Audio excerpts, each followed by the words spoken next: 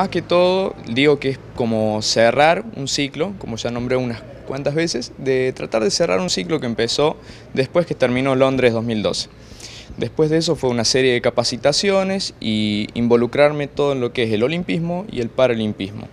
a través de capacitaciones, de viajar al Comité Olímpico Argentino, de recibir y tratar desde ahí hacer una bajada desde lo que se habla a nivel internacional, a nivel nacional que solamente estamos exento a 600 kilómetros, que por acá no llega mucho la palabra, tratar de traer todo lo que se está trabajando a nivel internacional y nacional a toda esta parte de Córdoba, tanto en Río Cuarto, hacer pie en la universidad y tanto llevar a Córdoba en una de las asociaciones donde trabajo. Pero creo que fue increíble, o sea, aparte de toda la mm, capacitación que nosotros vamos recibiendo,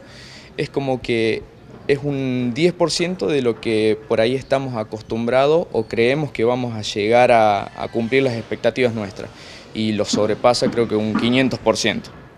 Se aprende muchas cosas, es el mayor evento a nivel internacional, tanto deportivo, porque tenemos 28 eh, deportes, o sea que estamos teniendo 28 mundiales de ese mismo deporte a la vez en sus varias disciplinas que suman un número muy grande, tanto de atletas, a los mejores atletas que podemos tener,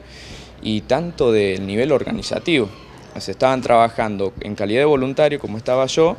en 503 trabajos diferentes, 70.000 personas, que es un número increíble, y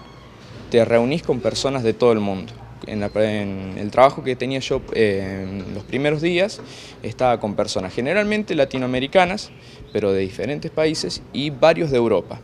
También asiáticos estaban en otras ramas, por ahí más de la tecnología como generalmente se los conoce,